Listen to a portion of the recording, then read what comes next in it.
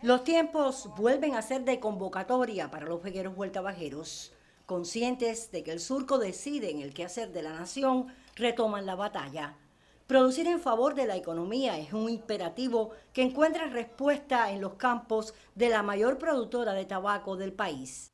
11.655 hectáreas ya se descuentan del plan de la actual campaña, cuyos inicios estuvieron marcados por las inclemencias del tiempo, la presencia de la COVID-19 y las secuelas del férreo bloqueo yanqui sobre Cuba. Volvían a retomarse para la preparación y alistamiento de los suelos, al tiempo que renacían los semilleros para garantizar las siembras, muchas destruidas por las lluvias. El esfuerzo fue gigante las siembras hoy sobrepasan las expectativas y el cultivo es fiel reflejo de la entrega de muchos.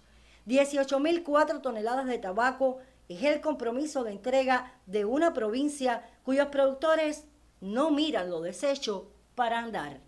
Desde Pinal del Río, Alina López Ochoa, Sistema Informativo de la Televisión Cubana.